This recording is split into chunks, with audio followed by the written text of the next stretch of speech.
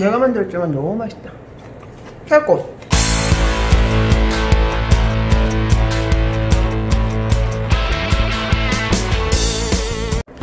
오늘은 말고기라 안동 찜닭을 한번 만들어 볼 건데요.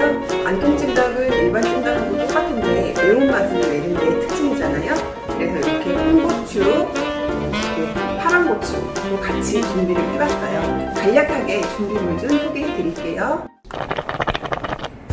삶아놓은 닭이에요. 닭을 한번 삶아놓으시면은 이물질 같은 게 없으니까 깨끗하게 준비를 해주시고요. 당면, 감자, 양파, 대파, 당근 이렇게 준비를 해주시고요.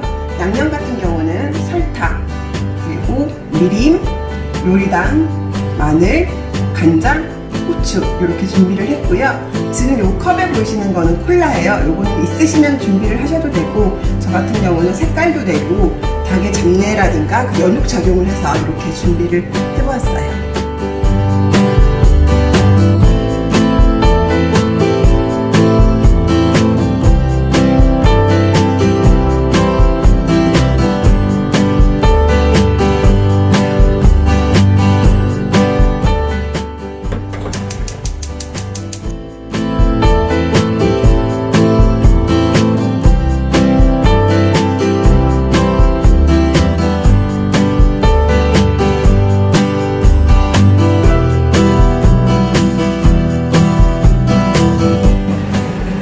15분 정도 끓이고 난 다음에는 딱딱한 야채부터 먼저 넣을 거예요.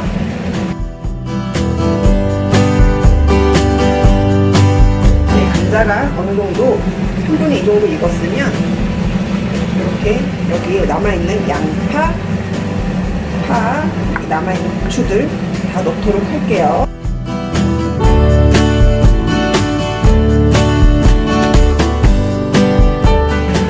마지막으로 당면을 넣고 1분만 더 끓이도록 할게요. 그리고 아까 말했던 물엿 또는 요리당을 한 바퀴만 쫙 빛깔 반짝반짝하게 납니다. 됐습니다.